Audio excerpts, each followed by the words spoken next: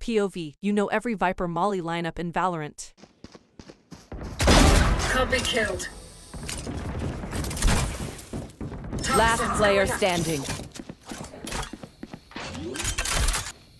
Spike planted. Toxin screen down.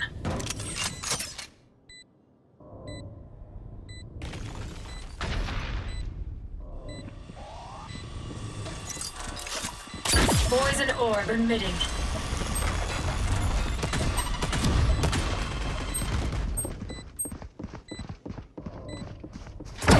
Enemy down. One enemy remaining.